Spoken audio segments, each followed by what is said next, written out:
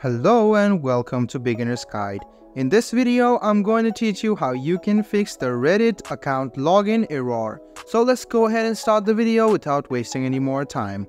Go ahead and find Reddit on your phone. After you find Reddit, you can go to its settings. Then, what you need to do is scroll a bit down and find Storage. Go ahead and tap on Storage and you can try clearing the cache and data. Sometimes doing this, you can now log into your Reddit account. So go ahead and click on this boat and clear the cache and data. Now try to open Reddit and log into your account. If there are problems of account error or account login error or something like that, you can come back to this place and click on Force Stop to force stop the Reddit app. Try opening it once. If it is still not working, I suggest you to reinstall Reddit.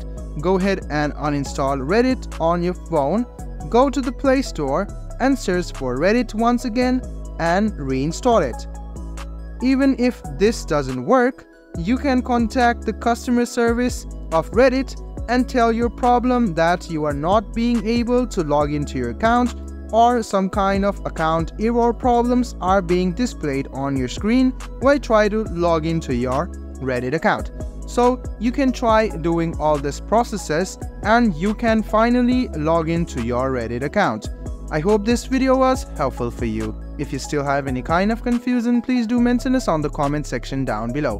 Like the video, subscribe to the channel and do hit the bell button for more. Hope to see you in the next video as well. Until then, goodbye, take care and make sure you enjoy.